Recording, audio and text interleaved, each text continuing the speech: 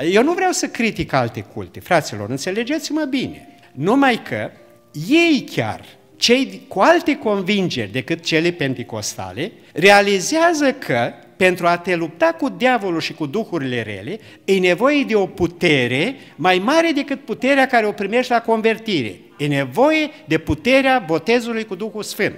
Nu-i problema că nu ești mântuit fără botezul cu Duhul Sfânt. Ești mântuit și fără botezul cu Duhul Sfânt, dar mântuirea trebuie dusă până la capăt. De-ai putea să o duci până la capăt, că vin și zile rele. Doi, tu trebuie să-ți faci misiunea care ți-o dă Domnul pe pământ. Și dacă în planul lui Dumnezeu tu trebuie să ai un anume rol, o anume funcție și Domnul ți-a dat un talent și tu nu vrei să stăruiești după botezul cu Duhul Sfânt și trăiești o viață căldicel, s-ar putea să fii lepădat.